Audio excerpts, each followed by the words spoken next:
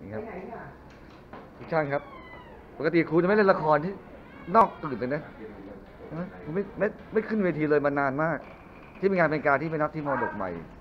แต่วันนี้ครูมามรดกใหม่ก็ไม่ขึ้น ไม่มันคือครูได้ไปแจมไปอะไรก็ถือว่าเป็นแต่ครูไม่เลยไงแต่วันนี้ครูมาขึ้นเวทีโอ้โหกลับมาเล่นละครวันนี้งานครูใหญ่ไม่มาเลยไม่มาไม่ได้เลยครับครูประทับใจครูใหญ่ตรงไหนครับ เพราะว่าสิ่งที่สิ่งที่ได้เรียนรู้จากครูเออประทับใจ ก็อะไรไม่ถามอะว่าเรียนเอรู้ออะไรเออตรงไหนตรงไหนตรงไหนถามสิประทับใจตรงไหนครับ เช่นครูแบบครูจบประทับนอกใจมาอะไรประทับใจอะไรครู ตรงที่ครูสอนว่าละครเนี่ยมัน truth the truth อืมที่นี่คือละคร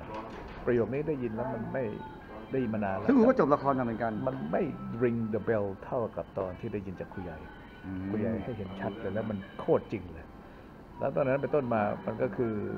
เส้นทางของการพาทุกสิ่งทุกอย่างไปหา truth ก็ถ้าสัจ truth สัที่อจยู่ในธรรมตัวเราสัจธรรมอะความจริงของเรา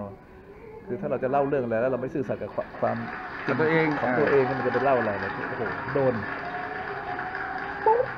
ซึ่งเขาจบจบ acting จากมอนทาน่ามา โอ้ยพอมาเจอไม่ใช่เอ่อครูใหญ่ปุ๊บเฮ้ย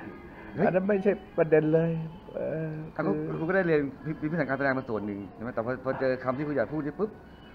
มันปิ้งเลยนะมันโดนมันโดนแล้วเลยต้องมาเล่นวันนี้โอ้โหอันนี้มันเรื่องใหญ่มากเลยเพราะว่ามันเป็นเรื่องที่มีผลต่อชีวิตเลยนะเข้าใจยังมันมีผลต่อวิชั่นมันมีผลต่อมุมมองมันมีผลต่อ attitude มันมีผลต่อการสร้างงาน มันมีผลต่อการมองเห็นอะไรต่ออะไรที่ซ้ำไปเห็นไหมเอ่อก็คือคำนั้นมีอิทธิถ้าพคลนต่อพูดครูง่ายๆครูใหญ่เปิดตาให้ อะอืม อืมคำนี้ดีคำนี้ดี โอเคไหมโอเคครับ ไม่ต้องถามอะไรเยอะมากได้ครับำนี้ผมว่าได้หมดแล้วครับ ครับ เดี๋ยวจะไปดูหวยซะหน่อยว่าใครจะชนะได้หวยไป ครูผมครูผม